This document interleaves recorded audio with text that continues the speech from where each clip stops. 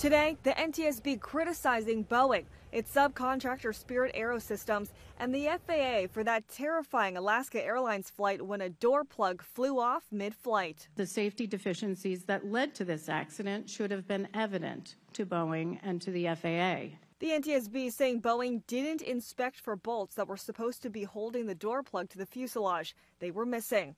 The NTSB also criticizing the FAA for the lack of overall oversight and not requiring infants to be restrained, calling the agency the last line of defense. In January 2024, Alaska Airlines Flight 1282 took off from Portland International Airport when the mid exit door plug flew off the plane minutes later, leading to a rapid decompression on board.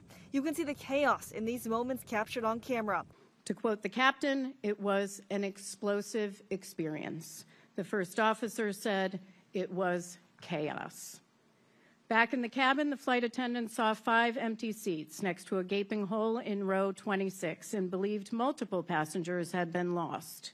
In fact, miraculously, all 177 people on board survived. The plane was able to make an emergency landing. The crew shouldn't have had to be heroes because this accident never should have happened.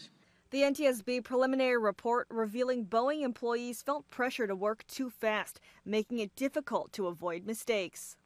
Alaska Airlines saying in a statement, We look forward to reviewing the final report in the weeks ahead. Spirit Aerosystems saying it has supported the NTSB's investigation and looks forward to the NTSB's full report. The NTSB's final and complete report on the incident will be available in the next few weeks. Jacqueline Lee, ABC News, Los Angeles.